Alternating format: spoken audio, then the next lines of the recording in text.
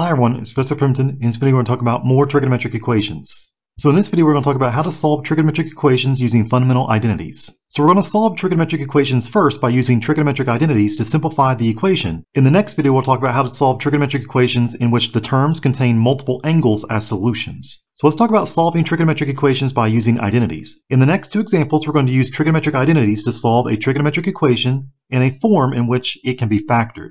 So example 1, using a trigonometric identity, solve the following trigonometric equations and list all solutions. So we'll actually have the general form for the solution of the equation. So number 1, we're going to solve the equation 1 plus sine of theta is equal to 2 times cosine squared of theta. So notice you have two different trigonometric functions involved in this equation. You have the sine function and you also have the cosine function. However, the cosine function is squared, however the sine function is not. What we're going to do is that since the sine function is being raised to the first power, we're going to replace the cosine squared function to be in terms of the sine squared function. So let's replace cosine squared of theta to be in terms of the sine of theta using the Pythagorean identity. So recall the Pythagorean identity said sine squared of theta plus cosine squared of theta is equal to 1. If you take this equation and solve for cosine squared of theta, you'll have cosine squared of theta is equal to 1 subtract sine squared of theta. And so let's replace the right side of the equation, 2 times cosine squared of theta with 2 times the quantity, 1 subtract sine squared of theta. So the left side of the equation will stay the same, 1 plus sine of theta, but the right side of the equation will be replaced with 2 times 1 subtract sine squared of theta using the Pythagorean identity. Since we're replacing cosine squared of theta, we have to replace cosine squared of theta with 1 subtract sine squared of theta in parentheses. That way you distribute the 2 to the 1 and also to the negative sine squared of theta. So the left side of the equation will be 1 plus sine of theta. The right side of the equation will be 2 subtract 2 times sine squared of theta.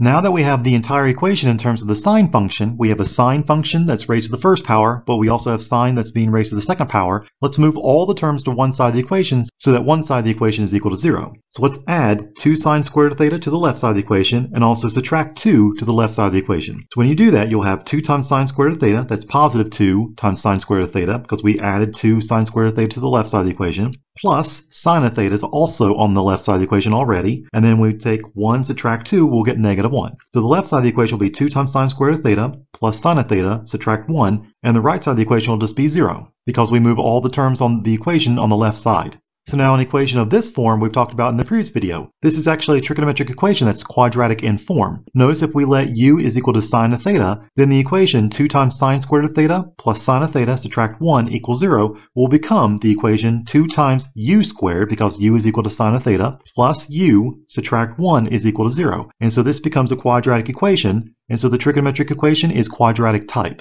So now we need to solve the quadratic equation 2u squared plus u subtract 1 equals 0. We'll use the AC method or you can use trial and error. We find out that 2u squared plus u subtract 1 is equal to 0. We'll factor as the quantity 2u subtract 1 is one of the factors and the other factor is u plus 1. So 2u subtract 1 times u plus 1 is equal to 0. That means at least one of the factors is equal to 0. So that means 2u minus 1 is equal to 0 or u plus 1 is equal to 0, the other factor. So now let's solve for the variable u in each of these resulting equations. u is equal to positive 1 half because 2u subtract 1 equals 0. And if u plus 1 is equal to 0, that means u equals negative 1. So we have the solutions u equals 1 half and also u equals negative 1. However, we were not solving the equation for u. The original equation was in terms of the variable theta. We're trying to find out what are the values of theta that will make the equation a true statement. So we actually have u is equal to 1 half that means u was sine of theta, that sine of theta is 1 half, and if u equals negative 1, that means sine of theta is negative 1. So now we can solve these basic trigonometric equations. Sine of theta will be 1 half in both quadrants 1 and 2. So the angle that's in quadrant 1, where sine of theta is 1 half, is the angle pi over 3. So theta can be pi over 3 plus some multiple of 2 pi. So theta can be pi over 3 plus 2 pi k, where k is an integer. Or if you're talking about the angle that's in quadrant 2, where the sine of theta is 1 half, that's the angle 2 pi divided by 3. So theta can be 2 pi over 3 plus some multiple of 2 pi. So theta is 2 pi over 3 plus 2 pi k, where k is an integer. And whenever sine of theta is equal to negative 1, that only involves the angle 3 pi divided by 2. So theta can be 3 pi over 2 plus, again, some multiple of 2 pi. So theta can be 3 pi over 2 plus 2 pi k, where k is an integer. If you have an angle of any of these three different forms, you actually have a solution to the equation 1 plus sine of theta is equal to 2 times cosine squared of theta. And so this is what's called the general solution to the trigonometric equation. Let's try another one. Number 2, we have the equation sine of 2 theta subtract cosine of theta is equal to 0. Well, notice we have sine of 2 theta. That's actually a sine function involving a double angle. Let's use the double angle formula for the sine function to rewrite this. So if you remember, the double angle formula for the sine function, sine of 2 theta, was equal to 2 times sine of theta times cosine of theta. So let's replace sine of 2 theta with 2 times sine of theta times cosine of theta. And we also have subtract cosine of theta already part of the equation on the left-hand side. And the right side of the equation is already 0. So we have 2 times sine of theta times cosine of theta, subtract cosine of theta is equal to 0. Notice that both of these terms have cosine of theta in common. So that's the greatest common factor, or GCF. We can factor out cosine of theta from both terms, and so cosine of theta factored out, you'll have a 2 times sine of theta from the first term left over. And if you factor out cosine of theta from cosine of theta, that will give you a negative 1 left. So you have cosine of theta times a quantity, 2 times sine of theta subtract 1, and the right side of the equation is equal to 0. So now the left side of the equation has been factored, and the right side is 0, so a product is equal to 0 if at least one of the factors is equal to 0. So it means cosine of theta is equal to 0, or the other factor, 2 times sine of theta subtract 1 is equal to 0. So now you have these two resulting equations to solve for theta. You have cosine of theta is equal to 0, or sine of theta is equal to positive 1 half. So we have these two equations that we need to solve for theta. So when cosine of theta is equal to 0, that only involves the angle pi over 2 and also 3 pi over 2. So theta can be pi over 2 plus some multiple of 2 pi, because that's the period of the cosine function. So theta can be pi over 2 plus 2 pi k, where k is an integer. And also, theta can be 3 pi over 2 plus some multiple of 2 pi. So theta can be 3 pi over 2 plus 2 pi k, where k is an integer. That will solve the equation cosine of theta is equal to 0.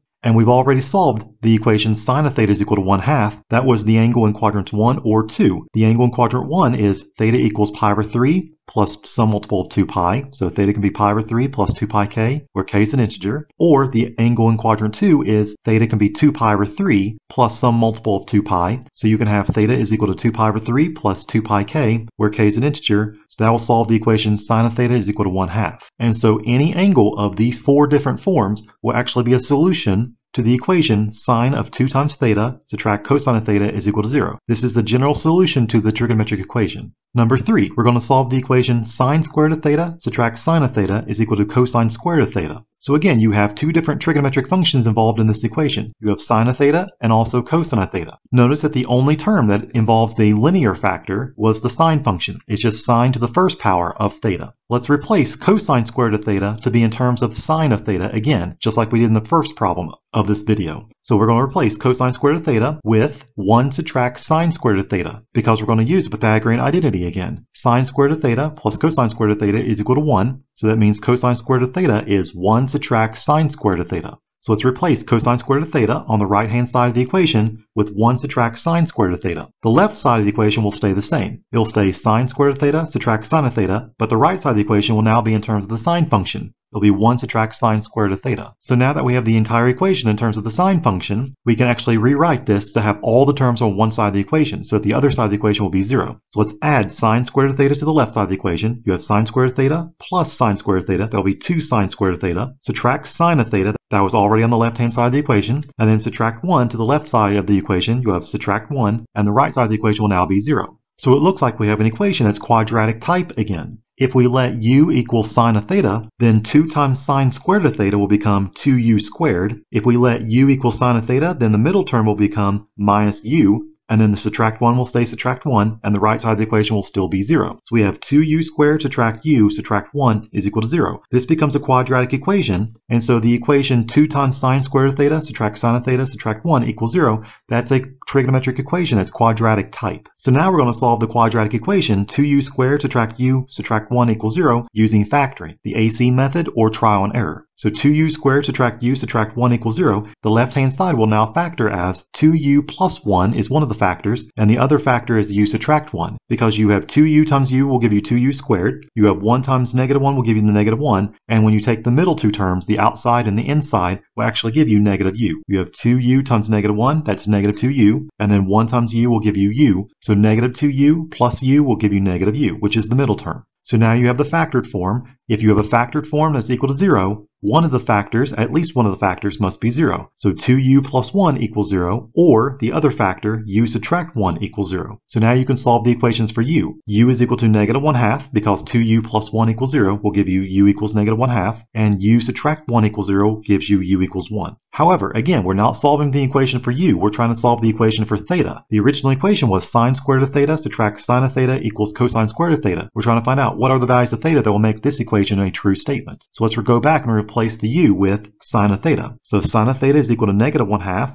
or sine of theta is equal to 1. If sine of theta is negative 1 half, that means the angle must be in quadrant 3 or 4 because the sine is actually a negative number. And so the angle that's in quadrant 3 will actually be the angle theta is 4 pi divided by 3. And so theta can be 4 pi over 3 plus some multiple of 2 pi because that's the period of the sine function. So theta can be 4 pi over 3 plus 2 pi k, where k is an integer, or the angle in quadrant 4 would be 5 pi over 3. So theta can be 5 pi over 3 plus 2 pi k, where k is an integer. That will solve the equation sine of theta is equal to negative 1 half. However, we also need to solve the equation sine of theta is equal to 1. Well, this only occurs at one place on the unit circle. It's when the angle is pi over 2. So theta can be pi over 2 plus some multiple of 2 pi. So theta can be pi over 2 plus 2 pi k, where k is an integer. If you have an angle of any of these three different forms, it actually will be a general solution to the trigonometric equation sine squared of theta subtract sine of theta is equal to cosine squared of theta. Let's take a look at number 4. This time we're going to solve the equation sine squared of theta plus cosine of theta is equal to 3. Notice that this time you have the sine function and you also have the cosine function involved. However, the cosine function is what's being raised to the first power this time. It's a linear term. And so we're going to replace sine squared of theta to be in terms of cosine squared of theta this time.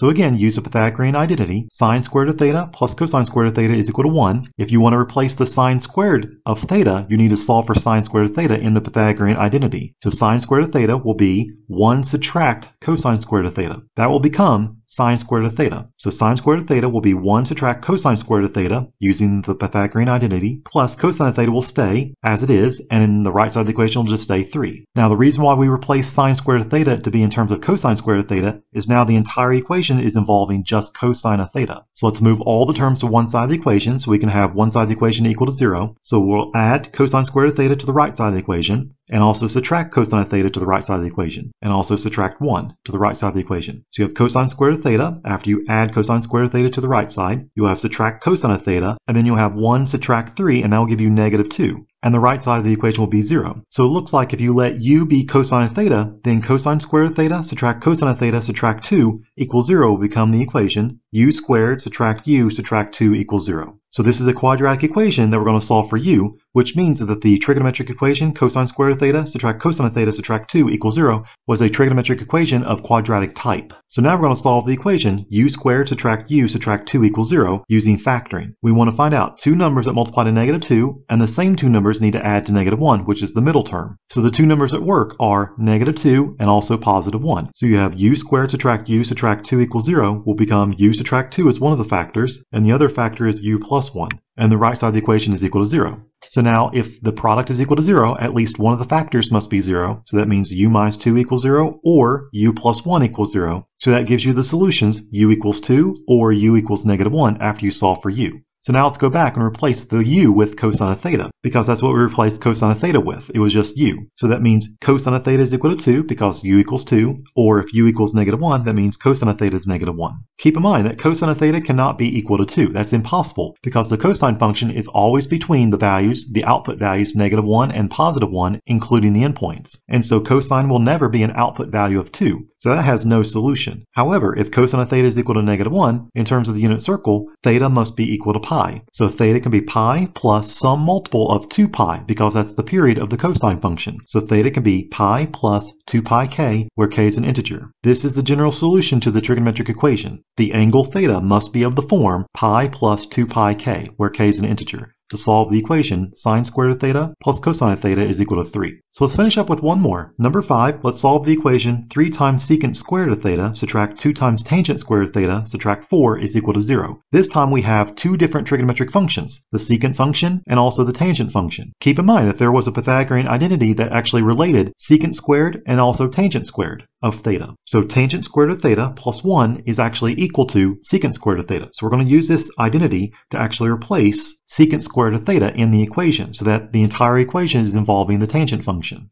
So 3 times secant squared of theta will become 3 times the quantity tangent squared of theta plus 1. So let's replace that in parentheses. It'll be 3 times the quantity tangent squared of theta plus 1. We'll keep the other terms exactly the same. Subtract 2 times tangent squared of theta, subtract 4, and the right side of the equation is already 0. So we need to simplify by distributing the 3 through the parentheses. We have 3 times tangent squared of theta. That'll be 3 tangent squared of theta. 3 times 1 will give us 3. Subtract 2 times tangent squared of theta. Subtract 4, and the right side of the equation will be 0. So if you combine like terms, you have 3 tangent squared of theta. Subtract 2 tangent squared of theta. That's 1 tangent squared of theta. So 1 tangent squared of theta. And then you have plus 3, subtract 4. That's negative 1. And the right side of the equation is 0. Well, if you add 1 to the right side of the equation, you have tangent squared of theta is equal to positive 1. And now you can take the square root on both sides of the equation to get tangent of theta by itself, but you have to remember the plus or minus on the right side of the equation because you use the square root to cancel out a square power. So tangent square root of theta is equal to 1 means tangent of theta is equal to plus or minus square root of 1, which is equal to 1. So tangent of theta is equal to plus or minus 1. So we have two different equations to solve. We have tangent of theta is equal to positive 1, or tangent of theta is equal to negative 1.